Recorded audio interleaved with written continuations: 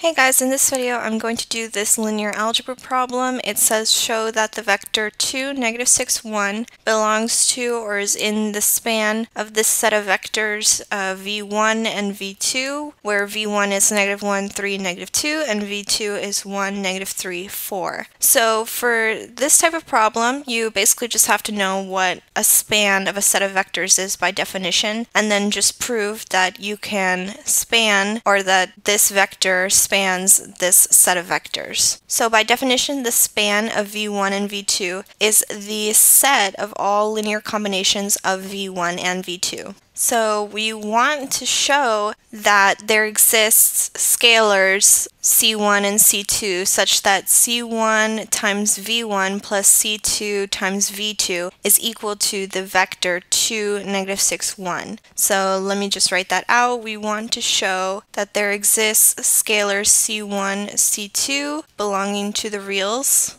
such that c1 times the first vector, which is negative 1, 3, 2, plus c2 times 1, negative 3, 4, is equal to the vector we're given, 2, negative 6, 1. So if we can find scalars that solve this equation, then this problem will be true, and it will be true that 2, negative 6, 1 is in the span of v1 and v2. So to solve this, we're just going to rewrite this as a matrix and find the row echelon form and get the solutions for c1 and c2. So writing this as an augmented matrix, it's going to be negative 1, 1 is equal to 2, 3, negative 3 is equal to negative 6, and 2, 4 is equal to 1. Now getting that into row echelon form, I did R2 plus 3r1 and r3 minus 2r1. So that gives you negative 1, 1 is equal to 2, 0, 0, 0,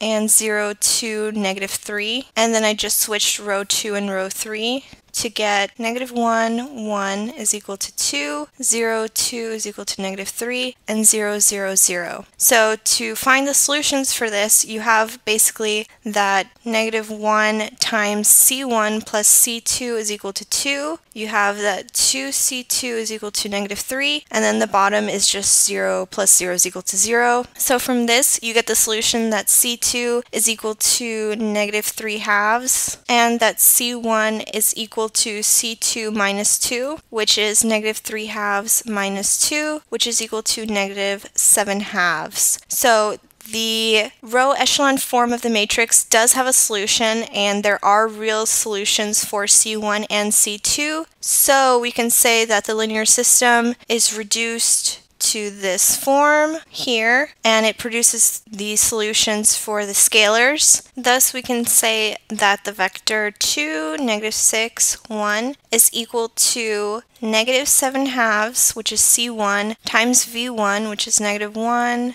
3, negative 2, plus c2, which is negative 3 halves, times v2, which is 1, negative 3, 4, which does belong to the span of v1 and v2. So we're done with this problem.